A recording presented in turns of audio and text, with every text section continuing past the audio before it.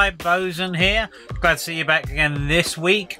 Uh, if there is any issues with the audio, I apologise, but I do currently have the 3D printer running in the background there.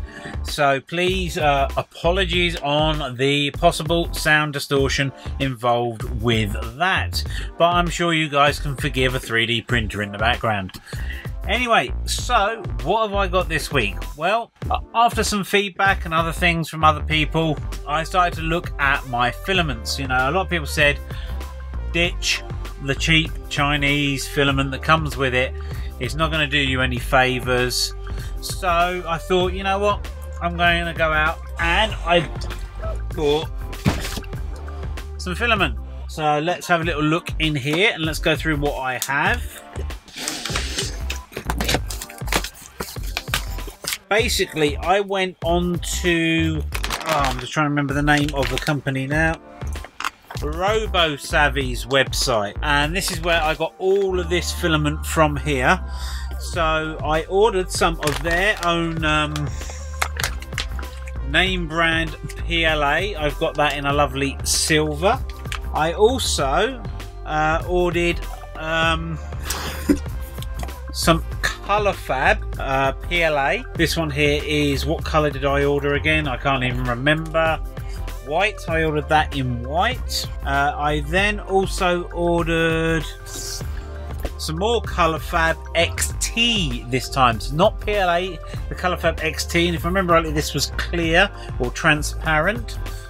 So that was going to be a little move away from PLA. And they had a deal on at the time, which is if you buy three foot rolls of filament, they'll throw in a fourth monster file.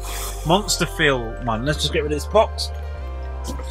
So they sent me this monster fill here, which is PLA. Yep, 1.75. So at least, yep, they got that right. And did it tell me what color I have in here?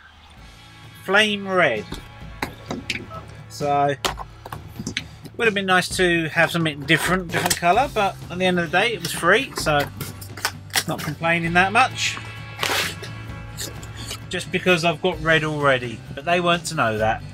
So there we have, we have some flame red, and that is a one kilogram spool, so that's quite a hefty spool there.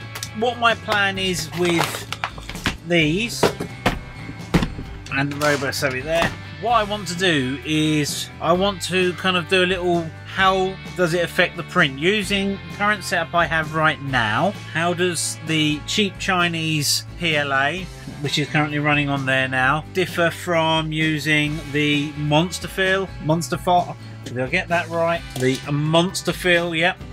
How does that differ from the monster fill to the colorFabb PLA to the RoboSavvy PLA and then there that's th three new PLAs to check against and then also the Color Fab XT which isn't PLA it's another kind of filament. I've forgotten the technical term for it but that runs from what I understand color um, temperature variance a lot more nearer to ABS and what have you. I'm looking forward to giving that a go as well and then seeing how that varies compared to these. As this machine can do ABS, then I don't see any reason why it shouldn't be able to do the XT. At the end of the day, I'll have a go.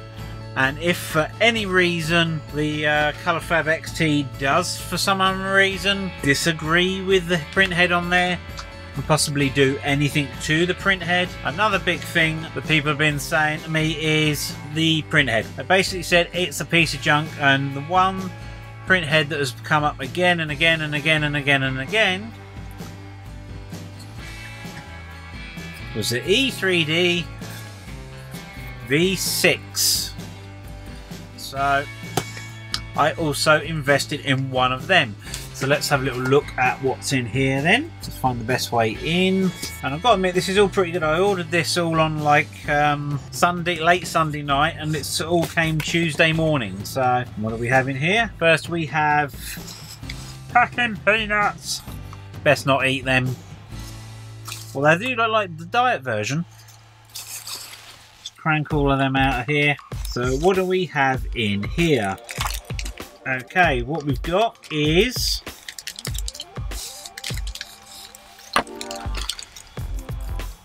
Uh, looks like the Bowden uh, attachment.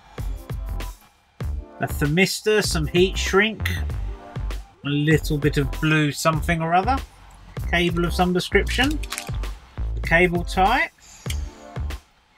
the heat canister, the fan, red and black cable with a header on, a injection molded shroud, very important, Haribo.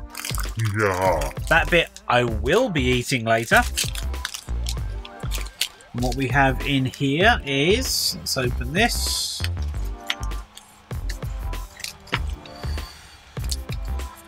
A thermal compound soft pack. First I thought that was just going to be, that was one of those little um, things for stopping moisture, but no, that is a thermal compound. There's a little fixing kit, so some nuts, bolts, screws, what have you, and a little Allen key. Even a washer in there and what have you. This looks like the main hot end as well as the nozzle, etc. in there. And this is the main, I don't know, the cooling chamber, if that's what the word is. I don't know the technical term, sorry. Anything else in there? Nothing else in the little blue bag. and a bit of Bowden tube in here. And da -da -da VIP ticket free admission to Accelerating 3D Technologies. Whoa. There we go. I have a E3D V version 6 hot end. Now what I'm needing to do here is obviously this is something that needs to be built, put together installed onto the system etc but I'm not going to do that straight away what I want to do is I want to do my my tests with not the Haribo but the filaments and because what I want to do is I want to go through how well and what's the difference between those filaments on the standard hot end that comes with the printer. Then once they've done all them and I've got a nice little selection of test pieces from that then I'll upgrade the the hot end to the, the uh, E3D V6 and then once that's on there run through the gambit of all the materials again seeing the difference that upgraded nozzle makes compared to the other one so people can get a nice good like apples to apples comparison not just over on one material but on multiple materials. I must thank all of you who have commented below giving me nice hints, suggestions, tips, tricks, all of that there. They really do help uh, some, a lot of them, yes, I've already know maybe, but I know a lot of the people that are watching my videos don't. So if you do spot something like you know that can be done better than the way I'm showing it, please feel free to share it down in the comments because even if it might not be something that I'm needing to do or I have my own idea of what I want to do, it might help somebody else who's watching these videos because we've got to work together as a community to try and help each every, everyone along. And I must give a, a, special little shout out this week to Paul Titcombe, who I hope I got your name right there, mate. Uh, who sent me a nice email with a whole bunch of links. Some of the stuff I already knew and what have you, but as I switched computers, I'd actually lost a lot of my links. So, Paul, that was a great help. Uh, it's helped me kind of uh, steer back on track, and it kind of get helped me get my uh, out my posterior and get on with a few things. So, as I said, what's coming up in the future? I want to do those uh, filament comparisons, uh, then with a new head, filament comparisons again, so that way you can see new head versus old head. Uh, and I've got a few other little things in that email Paul sent me about possibly trying to mount this onto a board or something along the lines of that, just to give it a bit of stability if I should need to move it. But anyway, I hope you've enjoyed that. Um, I hope to see you again next week. Uh, usual, if you want to catch me on Twitter and etc., you can grab me there and I hope to see you again next week.